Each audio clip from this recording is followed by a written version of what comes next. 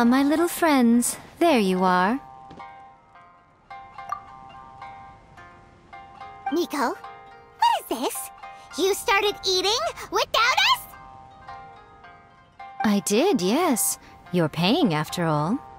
The thought of being able to eat the most expensive dishes and drink the finest sake, all for absolutely free?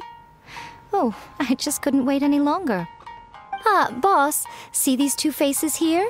Remember them. They're the ones picking up the bill later. Alrighty.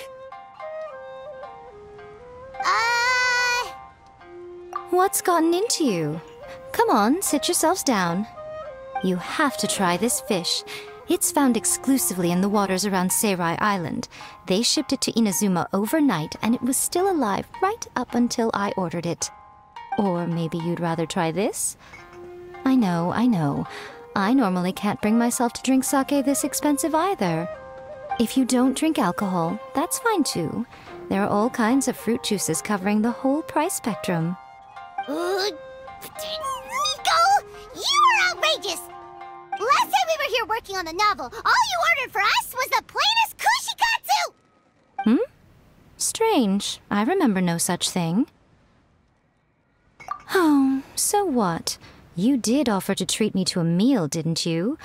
Anyway, I am something of a VIP, you know. Wouldn't you find it embarrassing to treat me anything short of lavishly? Miko, this meal is going to be super expensive! Aren't you afraid we won't be able to afford it? Oh, don't you worry about that. You can most definitely afford it. They're still printing your light novel by the batch, you know. You have quite the generous payment due. What? Aw, darn it! She tricked us into this! Miko was after our Mora from the very beginning! Oh, the looks on your faces right now. Too perfect.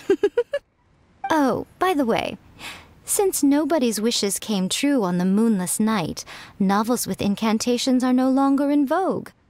So you'll have to come up with something new for the next chapter of The Miraculous Adventures of the Traveler.